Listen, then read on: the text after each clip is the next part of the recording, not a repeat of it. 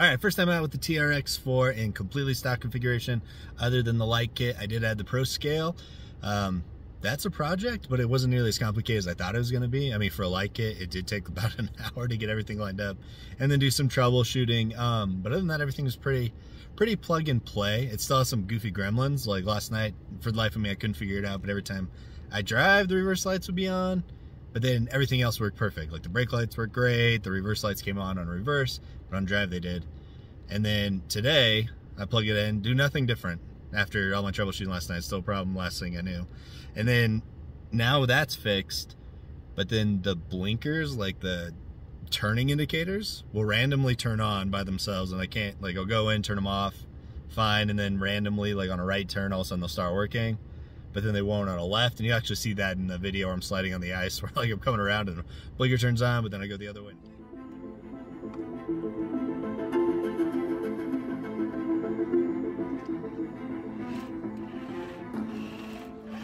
Anyways, really goofy. Other than that, though, I'm really happy with that Like it, Like, super bright, quality is awesome, and everything.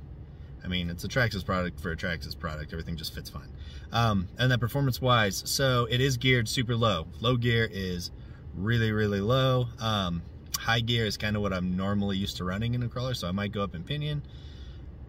But this project right now is supposed to be like my grab and go. Something that I can hand off to my daughter and I don't worry about her backing it up and going forward, backing up and going forward and trashing the transmission. TRX4s are just tough. I didn't want her to do that.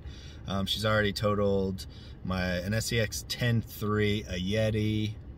Uh, what else has she destroyed? She's very trigger happy. She likes to do the like pew pew pew thing instead of just like a normal pull. I mean, she's eight, so I don't expect there's more. It, it's part of the learning experience. I got her CR12 that she worked on for a while until she got bored with it. Um, let's see, what else do I think? So yeah, with the grab and go project, a lot of it's just gonna be seeing how long stock components last. I have this really big problem where I buy something and usually I swap out everything before I even run it.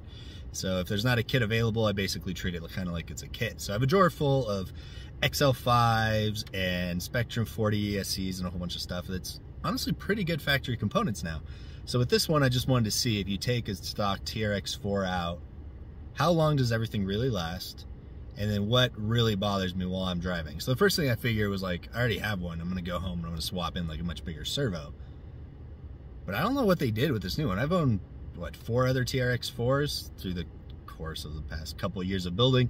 Um, I only have one still, and that's a Defender, but it's mostly just a shelf clean, I think. There's too many pieces that like to fall off and break. It's, I guess, I'll get back to that in a second about why I want to do a grab and go project. Anyways, so for the servo in this thing, it actually handled great. I mean, I didn't do any real rock crawling because I don't have anything right next to my house to do that. I'm still not feeling super well.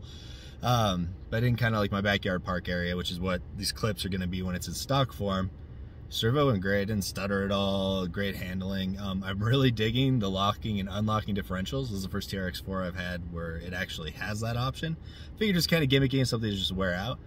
But it is nice to have. Like the turning radius, whenever they're unlocked, is half what it normally is. And it makes it a lot of fun when you're doing just like tight maneuvers between rocks to unlock them because you can literally just pull around a rock.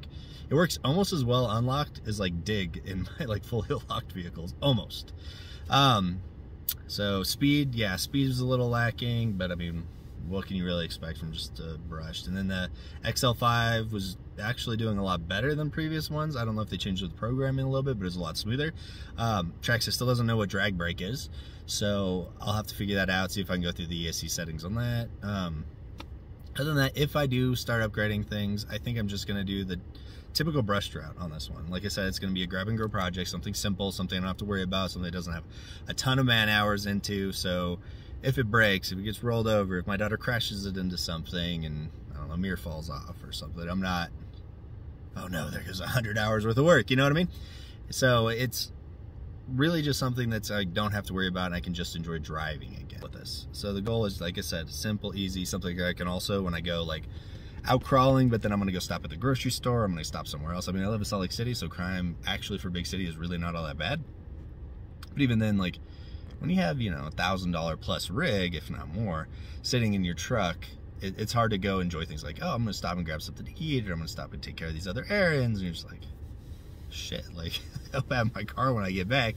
This one, and I mean, it is an investment, it's not a cheap truck, but it's not, you know, an elaborate build. Um, other than that, so plans. Uh, servo, I'll probably end up just growing eventually if I get tired of this one and it's not satisfactory in the rocks with uh, Reefs Triple Four. It's just kind of my staple go-to. Um, I think I'm just gonna do the Hobbywing, the little 40 brushed, and then I do have a hand wound um, Holmes Hobby motor. I think it's a 13 turn five pole, maybe 11, but I'm pretty sure it's 13 turn. Um, throw that in just for some more low end control with the light kit. That's the other thing. So everything's very proprietary with Traxxas. Everybody knows that, right? So one of the big things that I kind of foresee being an issue is that I'm really stuck with that transmitter. Like the way that, and the ESC too, it's going to be kind of interesting. But just the way everything's integrated. My big thing is the ProScale Light Kit. So the ProScale Light Kit, it hooks up directly to your receiver in like a, a really, like I said, proprietary specialized Traxxas plug onto it that goes out for the, they call it a link module, but it's not the module that goes in the control. It's a little confusing. But anyways, yeah, it goes directly to the receiver. I think it actually bypasses the ESC other than power with a really weird like JST plug.